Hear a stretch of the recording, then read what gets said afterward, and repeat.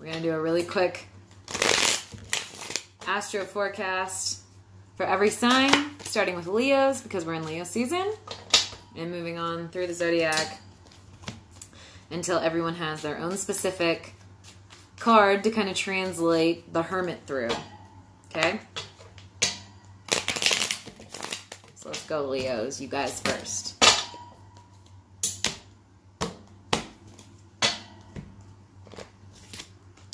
For Leos, we pulled Temperance. Temperance is a card of self care. Temperance is a card of like really taking some time out from the the grind, the hustle. It's really learning how to pour into yourself, and it's definitely connected to you know the the greater cycles, our subconscious. It's really asking us to dig deep and figure out what it is that we need to sustain ourselves long term because look at this path. Look at this path up into the mountain, into enlightenment, and up until our illumination. It's a long path.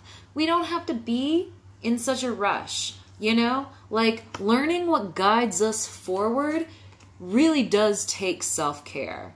And you know, sometimes I think that extroverted, kind of prototypical Leo energy has a sense of like really you know, looking to the external world for the things that'll fill us up.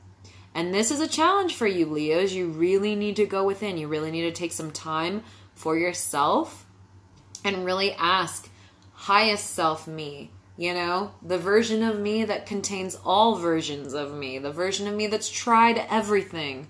What really works for me?